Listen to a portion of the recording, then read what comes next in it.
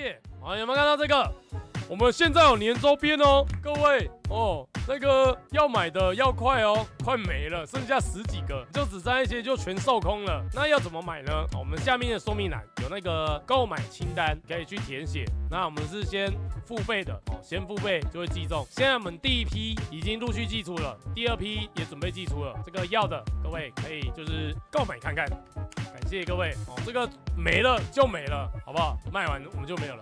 感谢大家哦，谢谢大家，哎，好，好，然后再来《魔物猎人闹》狙击，靠腰不要，我的天呐，《魔物猎人闹》对吧？说到《魔物猎人闹》，这边也稍微聊一下我对《魔物猎人闹》最近的看法好了，因为蛮多人问的嘛，对不对？我只能说，《魔物猎人闹》呃，原先我们要去玩嘛，然后后来，蛮多观众一直在问我有没有要玩嘛，然后想说好，我去玩玩看。结果呢？就在这几天玩着玩着，OK，very good，各位太棒了！我们的魔猎闹，咱们的恩色的一些骚操作，真的是太闹了，各位。哇哦！首先呢，你如果里面打连续狩猎哦，就好像是最新的雷狼龙那个那个任务嘛，哦，一定是连续狩猎嘛。连续狩猎打完一次会有三小时的 CD。你要再继续打，你还得付六十块，不然就得等。重点是里面你不管打赢打输，都会进入 CD 环节。哇，这个我真的觉得很夸张哎！我需要花六十块再去打一场，很奇怪，很奇怪。我狩猎我还要花钱，这个就觉得蛮妙的。再就是你还是多人狩猎哦，连续狩猎在于某本传当中，是不是血量会比较少嘛？然后结果今天我听那个谁奥雷克斯说，哇，血量还还爆干多，然后我就觉得蛮扯。听说还有人去算过嘛，那个雷狼龙任务，如果你要把武器做出来不氪金的话，大概要花一年的时间。你想想看，这个这个怎么玩，对不对？然后再来啦，药水要钱我也还可以啊，箱子嘛，那个你的包包箱只有五千个，要扩充需要再花六百九。我真的觉得有点太贵，难怪大家现在都转弯直接去玩《魔猎世界》，不然就破晓，对不对？我六百九同样的一个价格，扣个七十块就可以玩到世界，对不对？不然就是再加一点点钱，我就《魔猎崛起》破晓可以玩。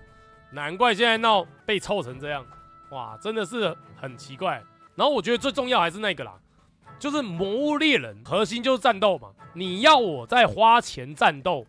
我真的对我来说，我没办法接受，我自己就没办法接受，哪怕它是六十块还是三十块都一样，很奇怪，真的很奇怪。如果你跟我说平常的什么水啊，哦，染色球啊，或者是箱子啊要扩充的，还行，因为你毕竟你手游免费的，你要赚钱，OK，哦，这个吃相已经有点不好说了，但还可以接受，我啦，我还可以接受啊。但是你跟我说狩猎要花钱。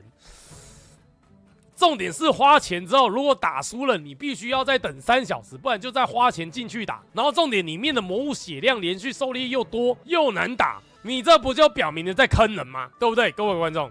我就是制作组，我就是要故意设定的很难，你这样才可以一直花钱一直打，一直花钱一直打，一直花一直爽，一直打一直死一直爽。啊，素材又难做，包包又会满，满了之后素材又不能卖掉，只能丢掉，这在干嘛？这在干嘛？这到底在干嘛？我就问你们，对不对？那当然啦，今天我们也有聊到一个东西，我觉得我觉得蛮有趣的。卡普空不是在近期开始推《魔猎世界》嘛？有一些新手回归的活动，对不对？刚好这次之前，呃，在卡普空某一次股东大会上有说，《魔猎闹》他们并没有想要赚钱，他们只是想要用来推广，对不对？推广这个《魔猎人》的 IP。让更多不同平台玩家知道，结果咱们这个 N 色一个骚操作，哎，的确推广到了各位啊，推回卡普空自家就不是推到 N 色了，好好笑，各位真的推广了，逆向推广回去，哇，卡普空这波操作更屌，你一个箱子六百九，你要不要买一下世界啊？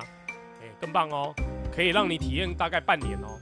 不对？我在想啊，有两种可能。第一个，卡普空跟恩瑟双方之间决定这个消费的计策或者决策，要么不是卡普空，就是恩瑟自己决定；要么就是卡普空教恩瑟这么干，自己内部再另一个操作，直接反推回去自己的产品。毕竟魔脸闹对卡普空来说，也只是收一个代理费嘛，哎，版权费吗？我不知道。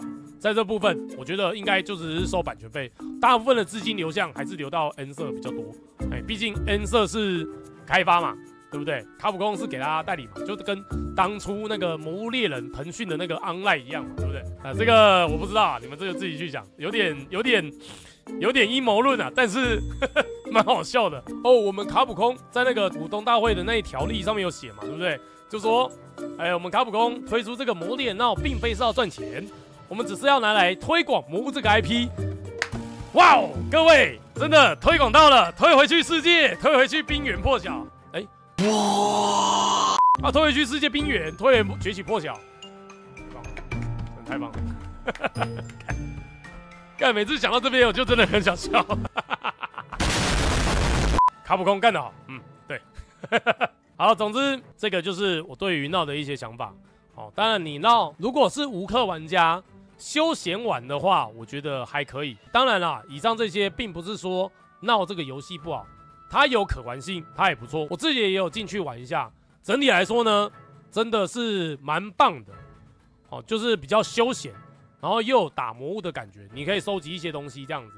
哦，整体来说不错。但是它的一些对于手机的消费形式，我觉得吃相很难看。你要赚钱，真的可以，但是。不是这样赚的，真的有很多方法，但我真的觉得不是这样赚。魔物猎人有这么多可以让玩家愿意掏钱的方式很多，但是这种掏钱，哪怕我钱再多，我真的我没办法，真的你要我付钱进去战斗，还不一定打得赢，对不对？我没办法，真的真的我没办法，这个真的，嗯，就看他后面会不会改吧。如果他后面。